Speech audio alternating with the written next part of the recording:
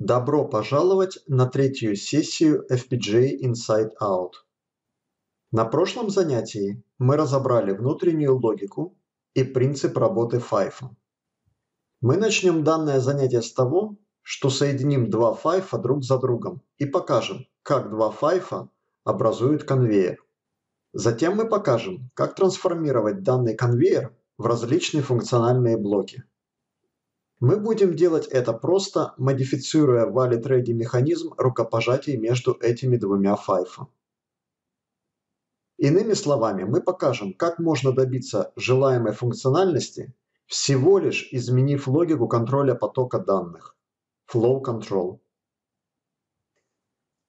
Первым функциональным блоком, который мы реализуем, будет блок инвертора – Блок инвертора принимает транзакцию данных на входе, инвертирует ее значение и выдает транзакцию на выходе.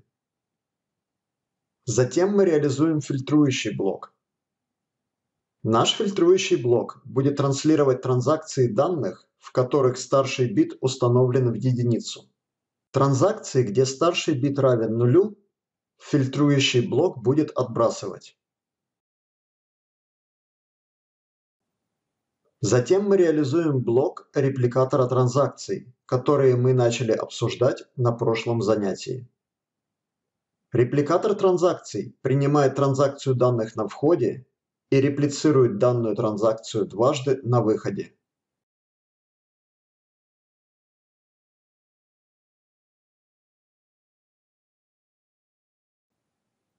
Для демонстрации данных концепций мы будем использовать микроархитектурный тренажер HDL Gadgets. HDL Gadgets – это фронт-энд для симулятора. Он позволяет пользователю взаимодействовать с симулятором в пошаговом режиме и обеспечивает визуализацию симулируемого HDL-кода в реальном времени. На этом занятии мы будем работать со сценарием 5 под названием Two FIFOs with Custom Logic with Model. Итак, давайте начнем. Мы видим два файфа, и между ними блок связующей логики, который мы можем модифицировать. Мы также видим здесь очередь, представляющую транзакционную модель нашего дизайна – Transaction Level Model. На предыдущем занятии было показано, как модель на уровне транзакций используется для демонстрации корректной функциональности RTL-дизайна. Мы продолжим придерживаться этой традиции, и для каждого реализованного RTL-блока мы будем создавать релевантную транзакционную модель. На данный момент внутри блока связующей логики сигналы данных, сигналы valid и ready, присутствующие на двух файфа, соединены проводами напрямую. Переведем схему в исходное состояние, используя reset. И заполним оба файфа данными.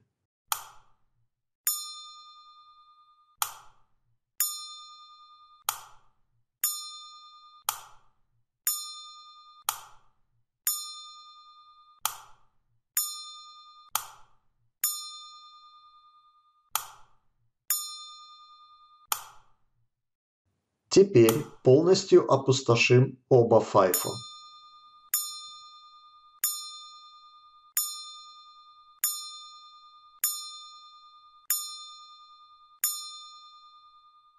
Можно заметить, что два файфа, соединенные друг за другом, ведут себя как один большой файфо.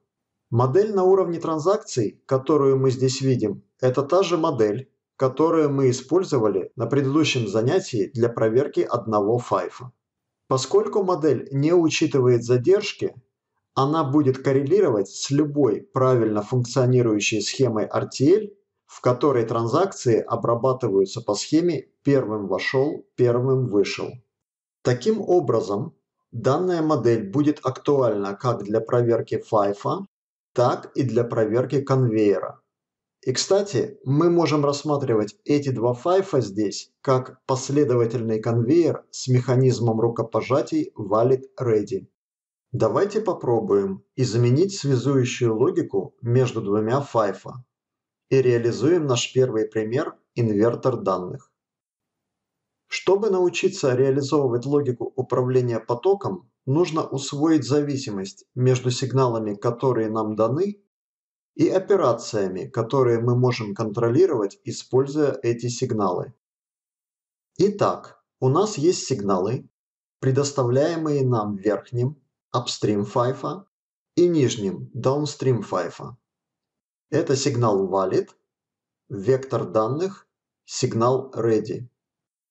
Стоит отметить, что эти сигналы перейдут в высокое состояние самостоятельно. Нам нет необходимости реализовывать дополнительный функционал в блоке связующей логики, который бы драйвил эти сигналы. Далее, используя upstream valid и downstream ready, мы можем инициировать POP для запроса новых данных из upstream FIFO и push для записи данных в downstream FIFO. Таким образом, чтобы сделать инвертор, мы можем оставить valid и ready сигналы подключенными между FIFO, чтобы pop из upstream FIFO и push в downstream FIFO всегда происходили вместе. Единственное изменение, которое нам следует сделать, это инвертировать все биты в векторе данных, используя комбинаторные инверторы. Так выглядит схема блока связующей логики для инвертора данных, который мы только что реализовали. Давайте запустим данный сценарий.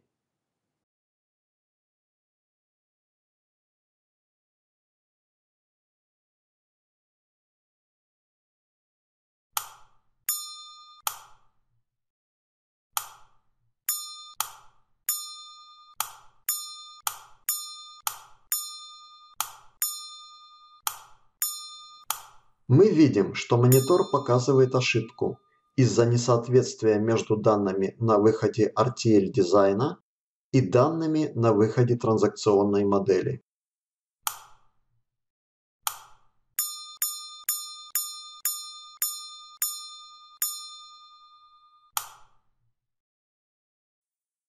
Давайте скорректируем модель.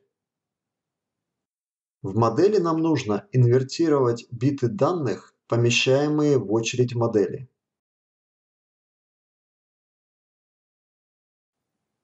Давайте еще раз запустим сценарий.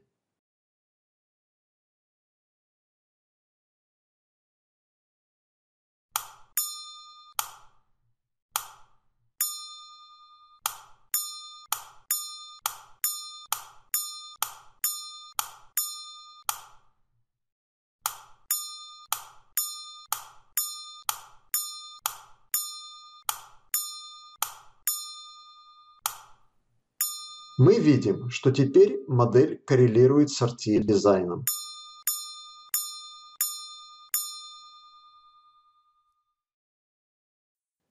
Перейдем к следующему примеру – фильтру транзакций. Как мы уже говорили, наш блок фильтра транзакций должен пропускать только те транзакции данных, у которых старший бит равен единице. Транзакции, у которых старший бит равен нулю, должны быть отброшены. Решением задачи будет логика, где режим операции POP остается по умолчанию, но push модулируется так, чтобы в downstream FIFO попадали только те транзакции, где старший бит равен единице. Чтобы модулировать push, мы должны поместить логику размыкания цепи на линию valid. Итак, мы оставляем сигналы ready двух файфа подключенными напрямую и помещаем комбинационную логику i на линию valid. Так выглядит схема блока связующей логики для фильтра данных, который мы только что реализовали. Внесем изменения в транзакционную модель. В секции Push мы проверяем значение старшего бита у входящей транзакции. Если старший бит равен единице, то записываем транзакцию в очередь модели.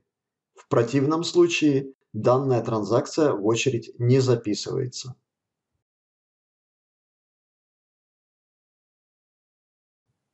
Давайте запустим сценарий.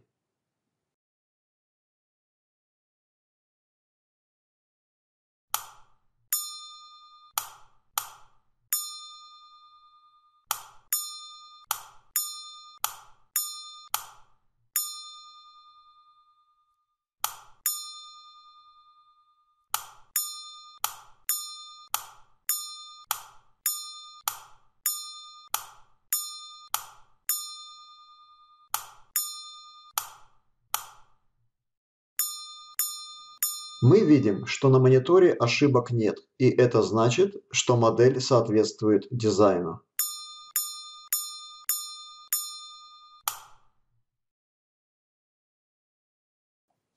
Итак, пришло время вернуться к примеру репликатора транзакций, который мы начали обсуждать на предыдущем занятии.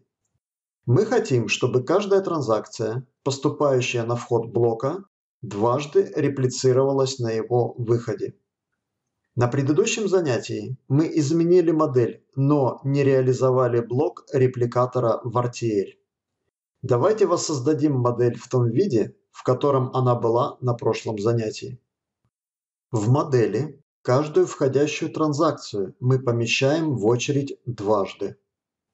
Как вы, наверное, заметили, программирование модели на уровне транзакций происходит последовательно и очень похоже на обычное программирование.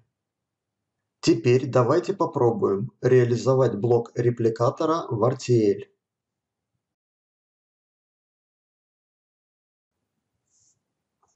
Решением задачи будет логика, где режим операции push остается по умолчанию. При этом pop модулируется так, что pop происходит при каждой второй операции push. Мы можем внедрить простой однобитный счетчик, который будет иметь значение 1 во время каждой второй операции push.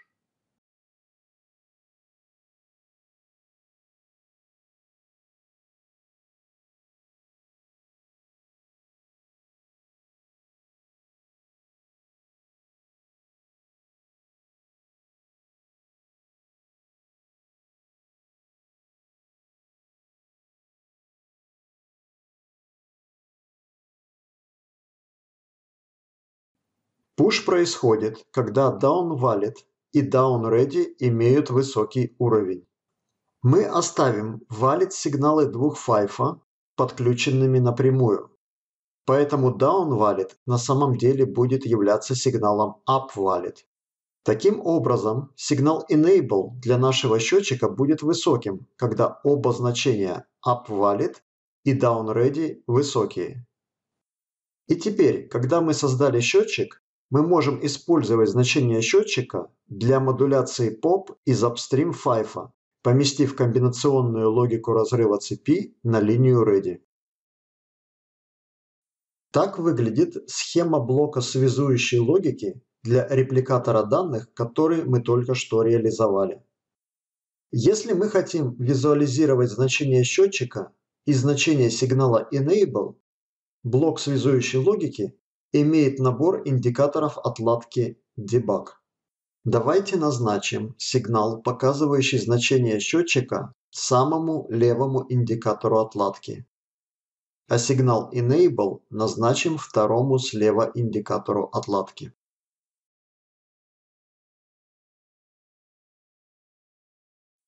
Давайте запустим сценарий.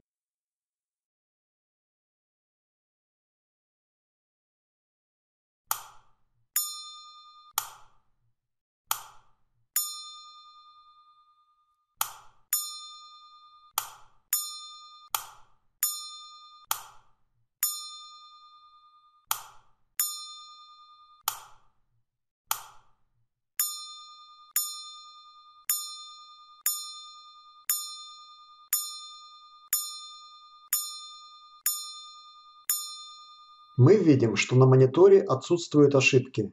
Это значит, что модель соответствует дизайну. На следующем занятии мы продолжим рассмотрение более сложных сценариев управления потоком. В частности, мы рассмотрим примеры с разветвлением одного конвейера на два конвейера и объединением двух конвейеров в один конвейер. На данный момент это все. Вы можете установить HDL Gadgets и самостоятельно поэкспериментировать с рассмотренными сценариями. Пожалуйста, не забудьте подписаться, оставляйте свои комментарии и вопросы ниже. Спасибо за внимание.